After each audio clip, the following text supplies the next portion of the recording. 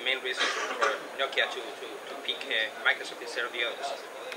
Well, this was a question of creating an ecosystem, an ecosystem that would have speed and a way for us to innovate within the ecosystem. Of the alternatives, we felt this one was the one that gave us the best chance to add value and the one to add it quickest. Today, uh, are you discarding any other platform to integrate in, into Nokia smartphones in the future? We have made a decision to create an ecosystem together with Microsoft. Now we focus on executing on that. And what is your main message for uh, partners, uh, developers, uh, and the audience, uh, clients from Nokia for the future?